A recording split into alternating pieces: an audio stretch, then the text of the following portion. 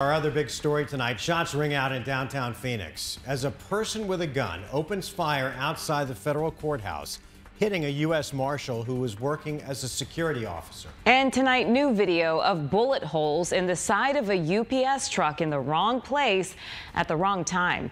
At this hour, investigators are still looking for clues as that security officer recovers. Team 12's William Pitts is live from where the police found the alleged shooter's car. And, and Will, still, I'm guessing, very active out there. Yeah, still very active. Take a look behind me. This is the car that police spent hours looking for. It's a silver Cadillac sedan. You see it over there surrounded by a lot of flashing police lights. And right now, we still don't know the suspect's name or why he would shoot up the federal courthouse. Bullet holes riddle a UPS truck. A suspect opening fire outside the courthouse in downtown Phoenix, which is across the street from Phoenix PD, right before lunch.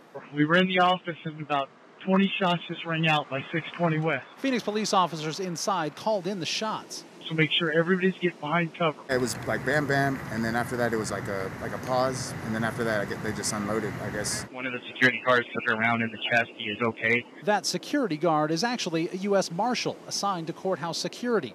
He was near the guard shack at a parking ramp. Officials say the gunshot hit him in his bulletproof vest. Medics took him to the hospital. He should be okay. And by the time I get right here, they had already started bringing all the cop cars in and stuff like that and like trying to shut it off and stuff. We'll fire to check the security guard out, even though it's okay. I want fire if we need to block Washington from about 4th Avenue to the west here. All police had was a general description and this photo, a silver Cadillac sedan.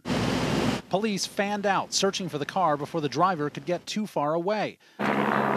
Cops found it 16 blocks away near 9th Street and Van Buren. They were yelling, and you couldn't tell what they were saying from here, but they definitely were had some person of suspicion. The FBI took over the case. They're not saying anything about the suspect, other than the person is in custody and there's no further danger.